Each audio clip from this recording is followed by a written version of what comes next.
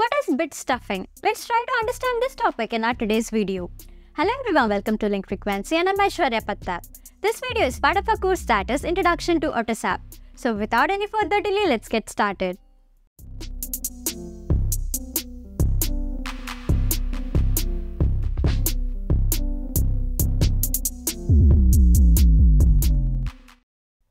In our previous video, we learned about what exactly is error handling mechanism in CAN protocol. In this mechanism, we listed out five different types of error handling, out of which we majorly focused on understanding the bit monitoring in our previous video. So in this current video, we will try to understand what exactly is bit stuffing. Let's quickly jump onto our screen to understand more about bit stuffing with an example. If a frame has more than 5 consecutive bits of same polarity, then insertion of a bit of opposite polarity after the fifth consecutive bit of same polarity is known as bit stuffing. Bit stuffing helps to maintain synchronization between the transmitting and receiving node of the communication network. Even though if the data contains long sequence of identical bits, then bit stuffing is still useful. Let's understand what exactly it means. The bit stuffing rule states that no more than 5 consecutive bits of the same value that is either all ones or all zeros are allowed in the data field. If 5 consecutive bits of the same value occur, then the transmitter automatically inserts an additional bit of the opposite value to ensure that the data field does not violate the bit stuffing rule. Let's take a simple example. Assume we have a data that is to be transmitted as represented on the screen. In the data, you could observe there are consecutive same values that is either ones or zeros. The consecutive values are highlighted for understanding purpose. If we try to send the same data over the CAN bus, then it will indicate a stuff error. So the data must be taken care in order to transmit properly on the CAN bus. This can be done by adding additional bits of opposite polarity after every fifth consecutive same value. Moving on, let's see how exactly it works. The data is taken bit by bit as shown until unless it encounters a more than 5 consecutive same values. You can observe there are more than 7 consecutive values of 1 on the data. This situation is taken care by transmitter.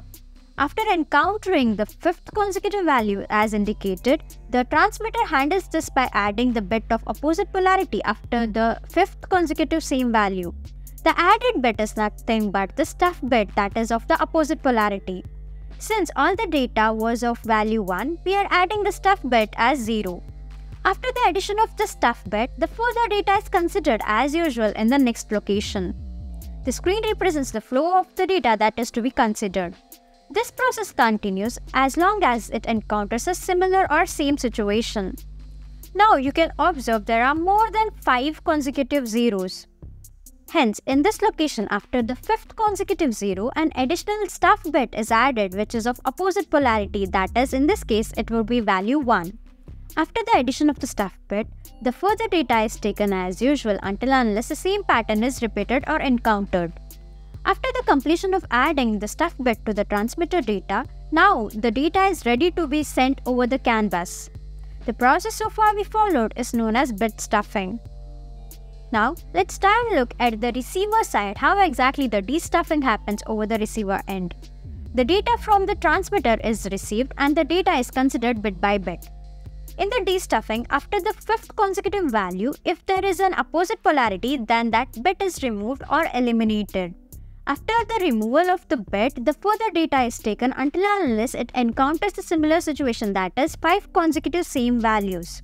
The demo of how exactly it happens is represented in the order for the reference.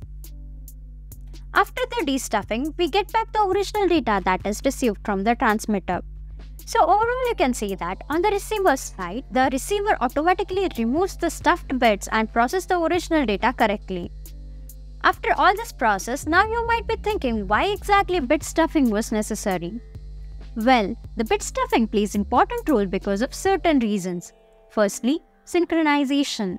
Bit stuffing helps maintain synchronization between the transmitting and the receiving nodes.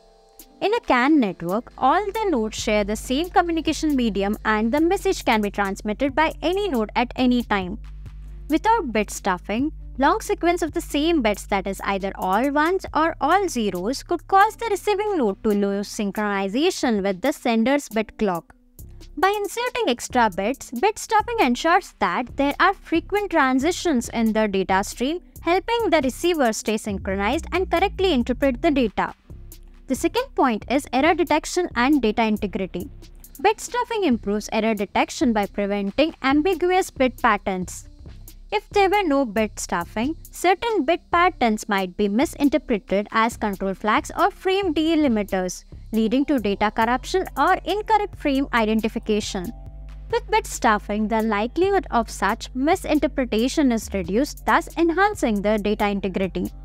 Overall, bit stuffing is important for proper functioning of CAN network, especially in the environment where there can be high data traffic and multiple nodes trying to communicate simultaneously. By employing bit stuffing, CAN ensures that the data is transmitted accurately and consistently across all the nodes. This indirectly improves the reliability and efficiency of communication in automotive and industrial applications.